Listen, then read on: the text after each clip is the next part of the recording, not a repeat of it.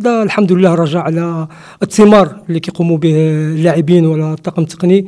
آه، هذا الفوز الرابع وهذا الفوز ما جاش على صدفة جاب العمل اللي كيقوم به أي واحد. ونتمنى الله سبحانه وتعالى نكملوا في الطريق الصحيح. وحنا بحال اللي كيعرف الجميع آه، كنخذوا مقابلة مقابلة باش نرضيو الجمهور. وإن شاء الله يكون غير خير.